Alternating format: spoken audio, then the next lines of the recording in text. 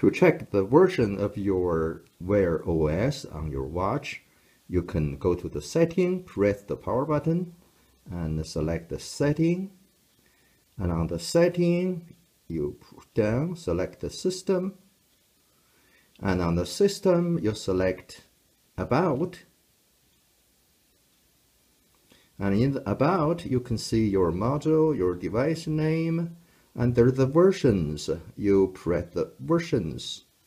Now you can see the version now is Wear OS by Google 2.24 and there are some other informations as well. This is the most uh, latest version and uh, just out in 2021